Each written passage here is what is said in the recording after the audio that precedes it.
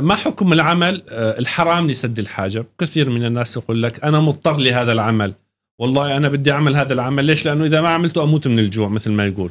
ك ك ك طيب دائما هل هل يجوز العمل الحرام لسد الحاجة؟ العمل الحرام هذا يعني آه له درجات في الحرمة يعني. هل والحرمة أو الحرام له درجات؟ وهكذا علمنا النبي صلى الله عليه وسلم. عفوا معروف أن هذا العمل حرام.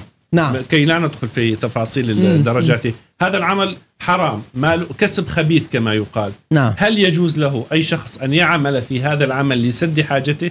هل هل الله سبحانه وتعالى آه، سوف يجعل رزقه من وراء هذا الكسب الخبيث؟ لا.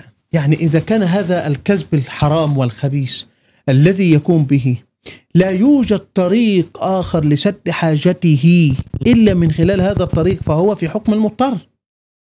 وأنا يعني أضعها في رقبته هو. أنا نعم. أفتي بما يتكلم به. يعني حينما يسألني السائل أنا أفتي بما قال لسانه. هو نعم. يقول لا أجد طريق إلا هذا الطريق. طب هذا الطريق تتكسب منه مالا؟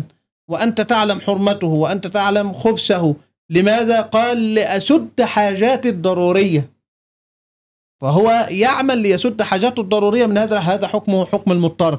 فإذا زالت الضرورة زال الحكم على طول مباشرة. الضرورات هذه تب... كقاعدة شرعية. الضرورات تبيح المحظورات. في غير الضرورة لا في يجوز. غير الضرورة لا يجوز نعم. له أن يكتسب حراما ولا أن يكتبس نعم. مالا خبيثا وال... آه يدخل على نفسه. ولذلك المرأة الصالحة الزوجة الصالحة كانت تقول لزوجها يعني م. إذا خرج للعمل تقول اتق الله فينا فإنا نصبر على الجوع ولا نصبر على النار. نعم يعني قوا أنفسكم واهلكم أهليكم نارا وكل آه، جسد نبت من سحت فالنار أولى به ولا حول ولا قوة إلا نعم بالله. أيضا السؤال الآخر آه، أنا كتبته وال آه، الأصدقاء في ال control يقولون نحن حكم العمل الأسود. هذا طبعا متداول كثير هنا.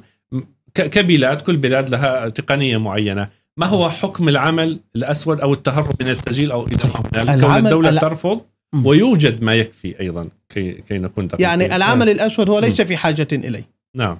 تمام؟ يعني إذا كانت هذه النقطة واضحة م. هو ليس في حاجة إلى العمل الأسود لأن آه، قواعد الدولة.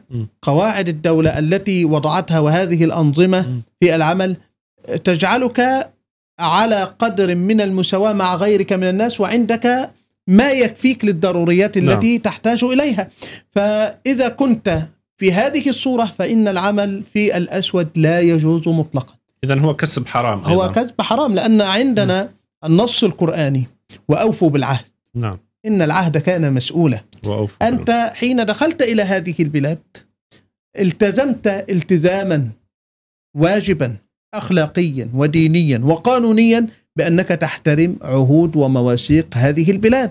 ومن ثم هذه آه، كذلك تقع تحت هذا الحكم الذي هو احترام العهود والوفاء بها.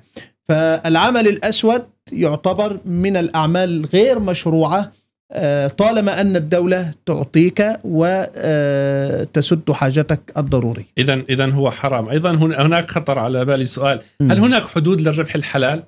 في يوجد الكثير من الناس تربح الضعف أو ضعفين أو ثلاث إلى آخره هل هناك حدود للربح الحلال ولا إذا كان إذا كان هذا الربح إذا كانت هذه الربحية م. بالأضعاف المضاعفة تضر بالمستهلك أو تضر أو تضر نعم. بالمصانع الأخرى فهذا يعد من آه، المقامرة ويعد هذا م. من آه، استغلال ويعد هذا من يعني المكائد التجارية ويعد هذا من الإثقال على صاحب أو المستهلك للسلعة. فلا يوجد حدود آه، معينة في الشرع إلا إذا صاحبها هذا الخداع وهذا الكذب وهذا الغش وهذه الأمور التي يعني تجعل المال خارج عن الإطار المشروع لصاحبه.